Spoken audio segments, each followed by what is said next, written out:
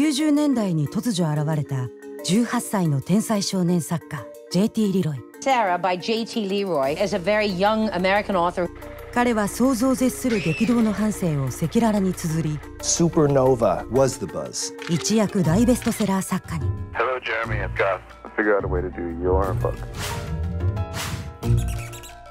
名だたるセレブたちを虜にし誰もが認める時代の寵児となった I just thank you from the bottom of my heart.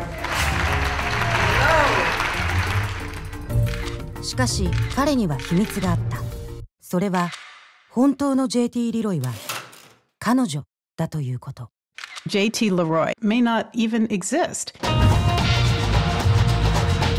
JT, a 25 year old former male hooker and drug addict,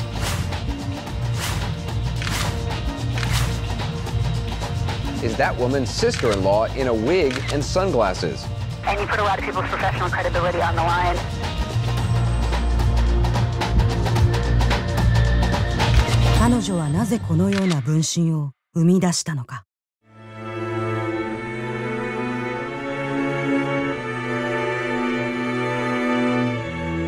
Multiple personality disorder, but that ain't it.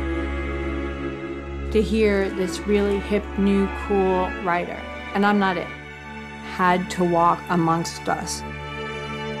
自分の皮を脱ぎ捨てて自由に羽ばたける私じゃない私になるために作家本当の JT リロイ